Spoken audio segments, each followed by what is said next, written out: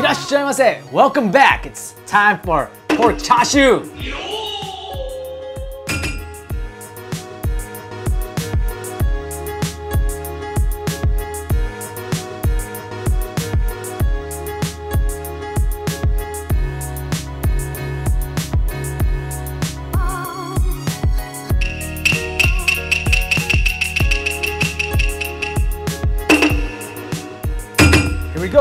So we have a slab of pork belly right here. You can get this at some supermarkets. This one I got it from Costco. So we got our pork belly right here. It's nice and flat, the way I like it.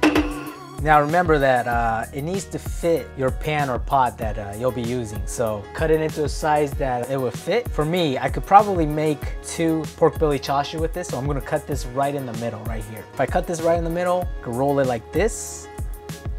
And that's one chashu.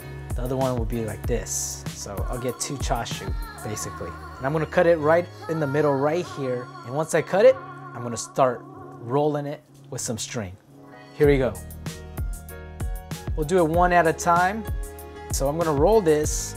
So we need your string. First make a shape and then usually put a line right here and then start.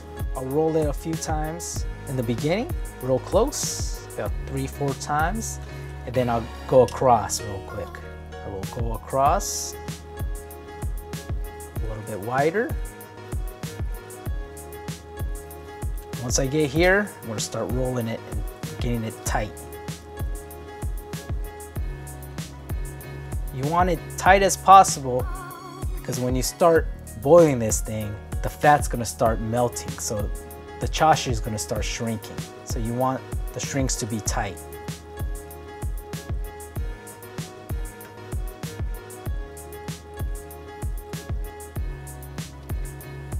Just gonna keep at it.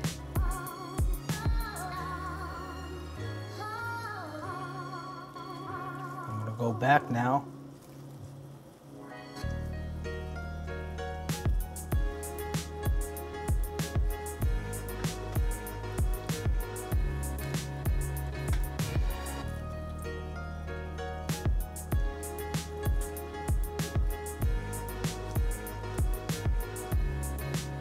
I'm putting the finishing touches here.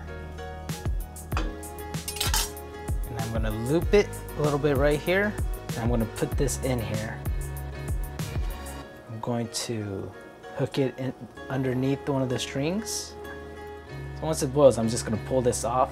I know where the end is. I'm gonna pull this string out and then I'm gonna unwind it. So so we just rolled up the uh, chashu and now we're gonna boil it. So we're gonna boil about uh, an hour and a half to two hours. Oftentimes when I'm making chashu, I'm also making soup. Uh, you could always boil it in hot water, but I personally like to boil it in my soup pot. So it brings out the flavor out of the chashu and it takes the, I think the soup to the next level as well. So that's what we're gonna do. So we're gonna throw this baby in here learn about making soup, you can always check out my other links on how to make ramen soup.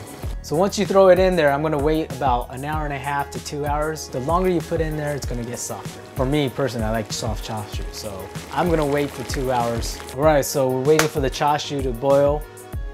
We got some time, so we're gonna make the tare, the sauce for the chashu to marinate in. So we need eight tablespoons of sugar, a cup of sake, a cup of soy sauce, three cups of water. 40 grams of ginger, four cloves of garlic, and two scallions. All right, so we got everything in. Let's just wait for it to boil. We got the chashu. It's been in here for two hours. Now we're gonna put it in the sauce and let it simmer for one hour. So I've seen some uh, places that would throw the chashu in the sauce from the get-go instead of boiling it. What that does is it dries up the chashu and makes it a little bit harder to chew on. So we'll boil it first for an hour and a half to two hours and then simmer it in the sauce.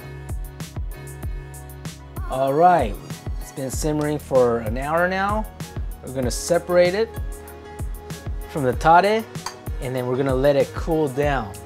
Once it cools down, uh, we're able to wrap it up and put it in the refrigerator. At this stage, if you want to cut the chashu, it's going to fall apart. It's very difficult to cut chashu when it's soft. So we're going to put it in the fridge, cool it down for overnight, tighten it up, and we're able to cut it into pieces a little better. All right, the chashu is ready to be cut up.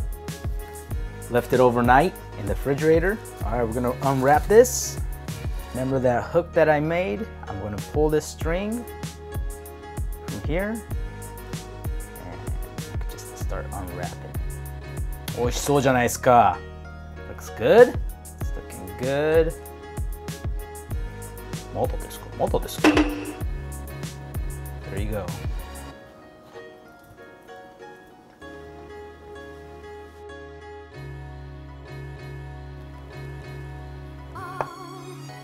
Looks good.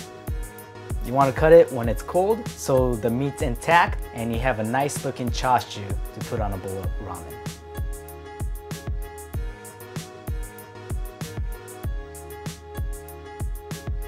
All right, look at that chashu, looking good.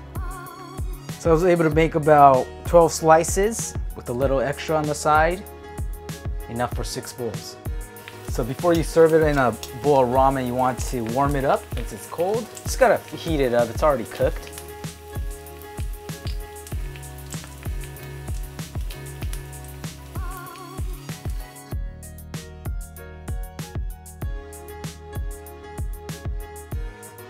All right, that concludes our Chashu episode. Thanks for watching. ありがとうございました